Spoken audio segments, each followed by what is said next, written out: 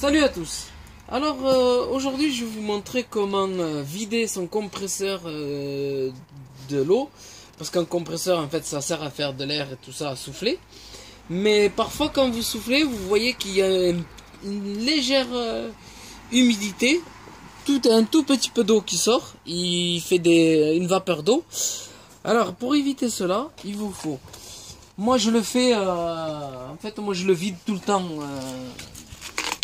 Je vide le compresseur, je branche, je vide l'air qu'il. Mais euh, je ne sais pas si vous pouvez le faire avec l'air. euh, Je vais laisser un peu d'air, voilà. Ensuite, je vais vous montrer un peu plus bas. Ici, en bas, on voyait une valve. Je vais ouvrir. Comme il y a de l'air, on voit que ça va sortir.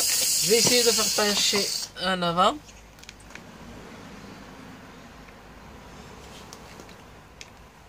Et là, on voit, je vais essayer d'ouvrir un peu plus.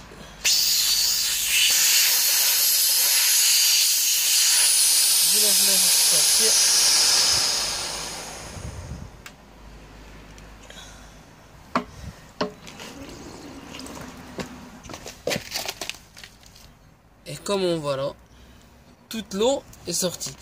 C'est une eau qui est un peu grasse.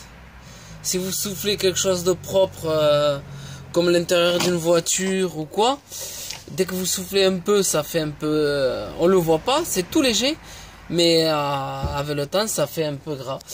Alors voilà la solution. Vous enlevez le bouchon de, de votre compresseur d'air. C'est le côté euh, qui se trouve en bas.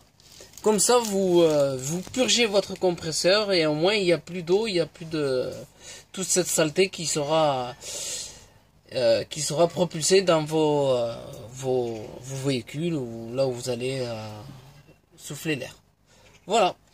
Mais sur cela, je vous souhaite une très bonne vidéo à tous.